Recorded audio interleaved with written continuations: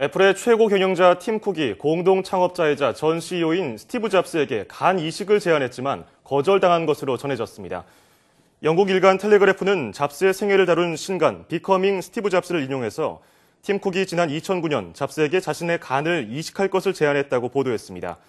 쿡은 당시 자신의 혈액형이 잡스의 희귀 혈액형과 일치하는 것을 확인하고 간을 이식하더라도 이상 반응이 없을 것이라며 이식을 제안했지만 잡스가 거절한 것으로 알려졌습니다.